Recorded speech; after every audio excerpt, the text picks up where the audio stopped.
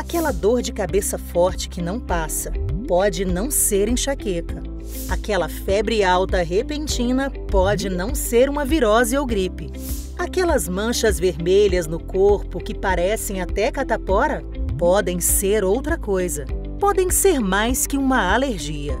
Aquela dor forte no fundo dos olhos pode não ser Covid ou sinusite. Aquele mal-estar e náuseas podem não ser uma infecção intestinal. Aquela dor nas articulações pode ser mais que uma fadiga.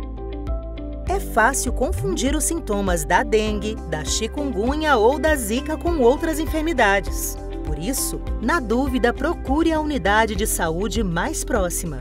E lembre-se, não se automedique.